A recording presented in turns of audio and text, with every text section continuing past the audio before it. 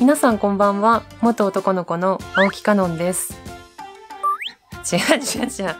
私そういうことやりたくてね、YouTuber やってるわけじゃないんですよ。これどういうことかというと、視聴者さんにね、あの、スキップされないようにね、防止する作戦なんです。それはね、こういうことですよ。こういうね、えげつない考えをね、視聴者さん全面に押し出しちゃうとね、あの、ドン引きされるんで、もうこの辺で話を差し控えとこうと思います。本日の本題は、こちら。私が YouTube を始めてから食べれるようになるまでの話。で、似たような話を以前に私はさせていただいたんですけども、ちょっとテイストを変えてます。その以前出した動画は、バイトと YouTube を掛け持ちしていた時の話みたいな。いつまで経ってもお金入ってこないじゃんもうやめちゃおっかなってね、なんかそういう悩み話なんですよ。で、今回話すのは、ちょっとどっちかというと内部的なお話です。こういう動画出したら、このぐらい登録者が伸びて、やっと食べれるようになりましたっていう話です。まず私は2014年の1月頃に YouTube を始めたんで、え今だとまあ約5年目になるんですかね。ほぼ毎日投稿を始めたのが2016年夏だから、まあ2年半ぐらいですかね。ガチ勢になったのは。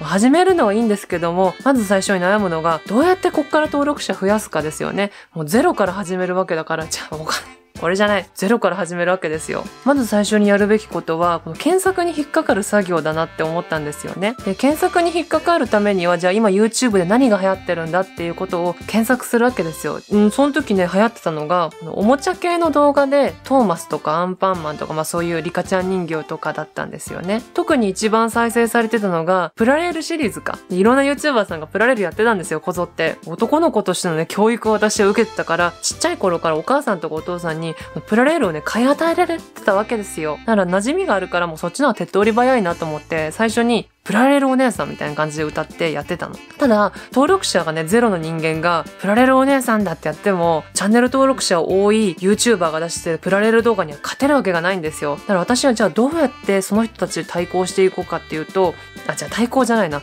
おこぼれをもらうってことですよね、登録者の。で、おこぼれをもらうためには、その人たちと全く違うことをやんなきゃいけないなと思ったから、したら私ね、性別変えてる人間だし、ニューハーフプラレールお姉さんみたいにやっちゃおうみたいな。で、最初元男の子って言ってなかったんですよ。ニューハーフで。まあその時ね、ニューハーフバーで働いてたから、まあいいかなと思って。まあそういう感じでやってたら、半年ぐらいで、なんかね、いきなり1000人ぐらいまで伸びたんですよ。ね？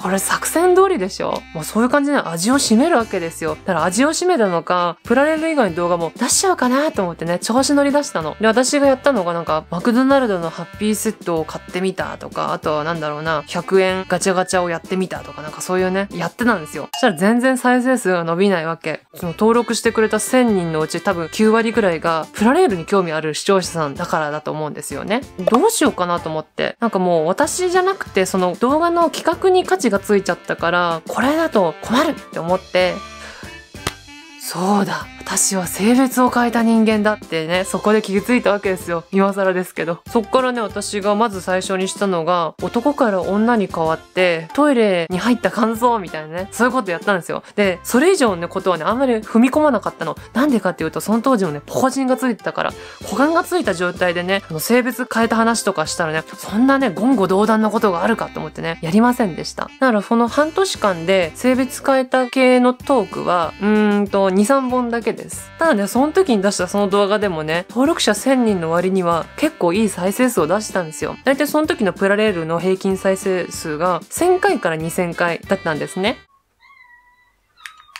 失礼だね、本当に。しつけしときなさいよ。あれ、どこまで話したっけ？?2015 年になる頃には登録者が2500人ぐらいいってました。それね、私の作戦通りでしょ？そして2015年に入るんですけども、私はちょっといろんな事情がありまして、活動1年間休止をしたんです。だから、2016年に行きますね。で、その時は登録者が4000人ぐらいになってました。まず最初に私が思ったのが、もう4000人いったから、プラレール動画を出すのはいいんだけども、これを出していって、果たして私がやりたいことにつながんのかって考えたら、繋がんないんだろうなって思ったんですよね。だって私、おもちゃ YouTuber になりたいとは思ってなかったんで、まあそれはそうなんですけども、だったらじゃあ、青木にね、価値をつけようっていうスタンスになったわけです。そっから多くなったのが、元男の子が何々をやってみたみたいな。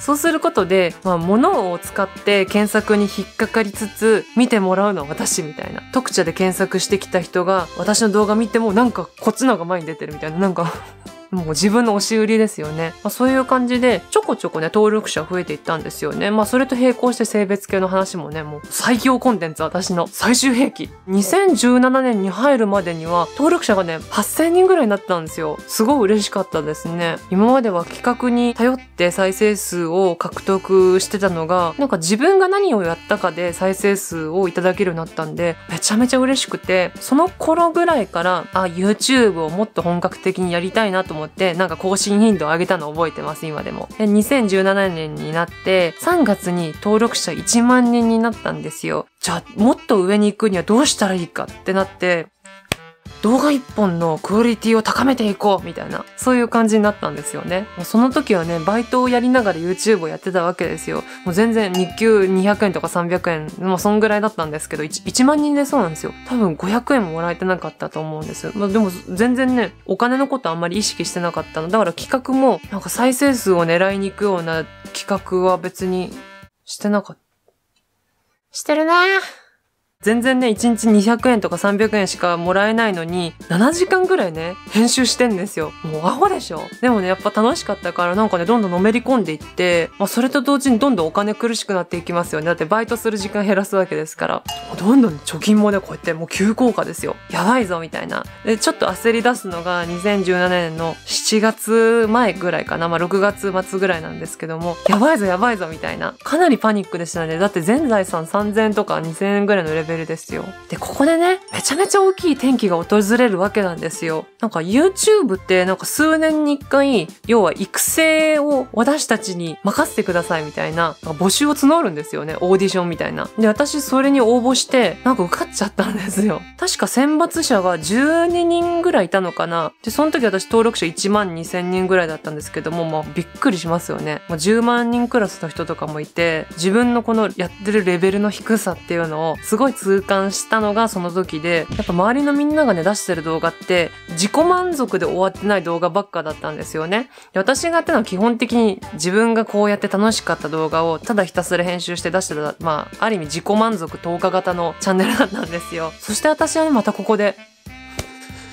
ひらめくわけですよ。私の勝手な憶測ですけども、YouTube を見てる人って何かしら悩みを持ってるって思ったんですよね。それはどういう悩みかっていうと、楽しいものを見たいっていう悩み、あとは美味しいものを見たいっていう悩み、感動したいっていう悩み、もう極論は悩みっていう言葉につけちゃってるけども、まあ、オーバーに言うとそういう感じだと思ったから、したら私がなんかの解決になる動画を出せばいいんだなっていうスタンスに変えたんですよね。だからその時にね、出した動画が作った股間がこういう感じでこうですみたいないう解説動画を出したの。したらね、びっくりするぐらいね、めちゃめちゃ再生数が伸びたんですよ。確かね、その当時で100万再生ぐらいいったのかな。だってその時の平均再生数って私3、4千回ですよ。メガヒットなわけですよ、自分の中ではね。その時の、なんだろうな、嬉しさはね、今でも覚えてますね。通知みたいのが、今登録されましたよとかずっと鳴りやまなかったの。今までこうやって、いろいろ寄り道してやってきたけど、ほんとよかったな、みたいな思えた瞬間がその時です。その動画がきっかけで、登録者がね、3、4万人ぐらい増えたんですよね、急に。そっから YouTuber デビューっていうことになりますかね。今もこうやって日々視聴者さんに見ていただいてるのは、本当に私が頑張ってきたおかげなんだろうなって思うと、本当自分に感謝。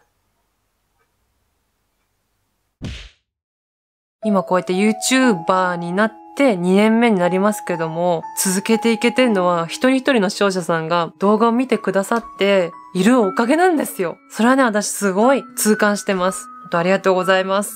今じゃね、もう20万人になりますよ、私。ふざけちゃったけどね、私は実は真面目なんですからね。なんか鼻に毛が。もしこの動画が良ければ、グッドボタン、チャンネル登録、評価、お願いします。グッドボタンが多いと、関連動画とか、おすすめ欄に載りやすいんですよ。広告収入には関係ないんですよ。YouTube さんからの評価が高くなるの。もしよければ応援の気持ちでお願いします。Twitter、Instagram、そしてサブチャンネル青木かのの秘密箱は画面の下にありますので、ぜひチャンネル登録、フォローお願いします。また、次の動画でお会いしましょう